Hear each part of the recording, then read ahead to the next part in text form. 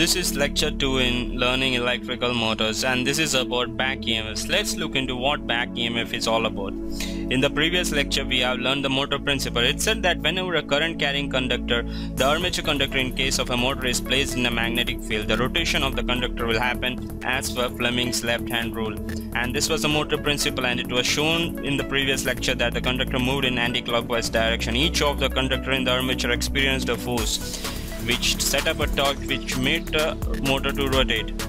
And there is also a principle which is known as generator principle which is the operating principle of generator. It works on the Fleming's right hand rule. It says that whenever a conductor cuts magnetic field a current will be induced in the conductor as in case of a motor. So this is what Fleming's left hand rule is all about as you can see, if your middle finger points in the direction of the current and the index finger in the direction of the field, then the motion will always happen in the direction of the thumb. That was the motor principle. So when you, you saw a current carrying conductor placed in a magnetic field, the current direction is given by the middle finger and the field that is the field from north to south pole was given by your index finger and the rotation of the conductor was happening in a top direction or the force on each conductor was exerted in the top direction. And again in the last video you saw that it was resulting in a torque in the armature where each conductor was moving in anti-clockwise direction. So that was all about motor. If you look into generator in a generator there is a field and there is motion. The rotor or rotor of the or the armature is rotated from a prime mover it can be a generate it can be a steam generator steam engine or it can be a motor that rotates the armature. And there is a field produced by the field magnets in case of a generator and there is motion and there is field. And the direction of the current or the EMF is given by the middle finger in this case. This is how the motor generator works. So it can be uh, said that EMF will be also induced in a motor according to the right hand rule. Although it's a motor, the generator principle will act on the motor because each conductor carries current and each conductor carries motion which is happening due to the motor principle and there is field induced by the field magnets.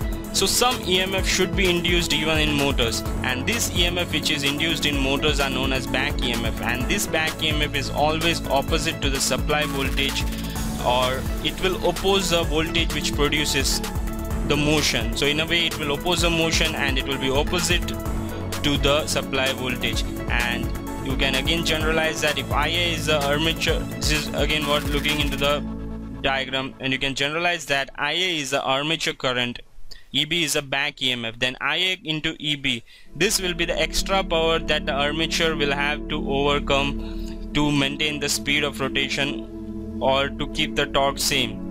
So the armature current can be given as V minus back EMF divided by the resistance of armature. So again you can see that the back EMF is opposite to the supply voltage and it will define or it will govern the armature current. That is armature current is the supply voltage minus back EMF divided by the resistance of the armature. So the more the back EMF the less the armature current the less the back EMF there will be more armature current.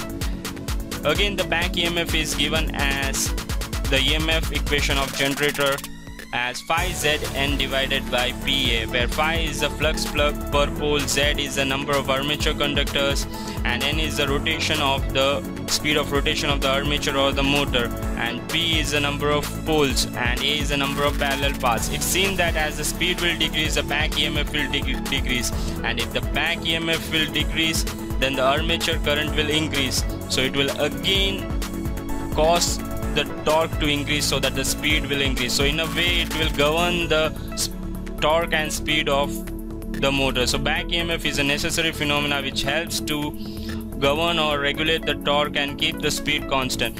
So that's all. If you like this video please do subscribe like and comment